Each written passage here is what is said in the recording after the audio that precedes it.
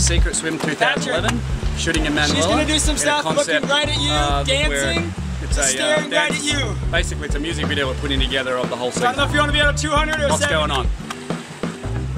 Including our DP Trevor.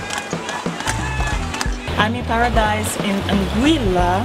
We've had very bad luck with the weather.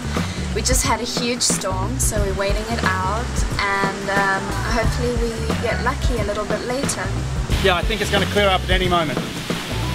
Yeah, any moment the weather's going to clear up and we're going to be shooting again.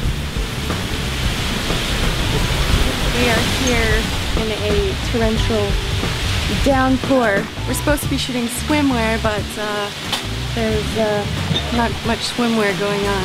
Hey, don't want to bum you out, but this is getting really frustrating. This is what we're waking up to every day right now. It's it's uh, raining.